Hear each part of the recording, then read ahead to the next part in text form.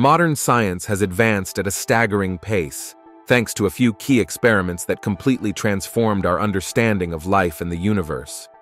These groundbreaking achievements reshaped medicine, technology, and physics in ways once thought impossible. Here are the top three modern scientific experiments that truly changed everything. Number 3. The Human Genome Project, 1990 to 2003. The Human Genome Project mapped all 3 billion base pairs in human DNA, revealing the blueprint of human life. It revolutionized medicine by enabling personalized treatments and advanced genetic testing.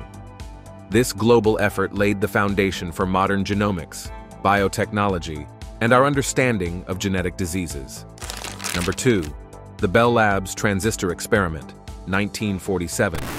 The invention of the transistor at Bell Labs made modern electronics possible by replacing bulky vacuum tubes with compact, efficient switches. This single experiment sparked the digital revolution, powering everything from smartphones to supercomputers. It remains the foundation of all modern computing and digital communication. Number 1 the Discovery of the DNA Double Helix, 1953.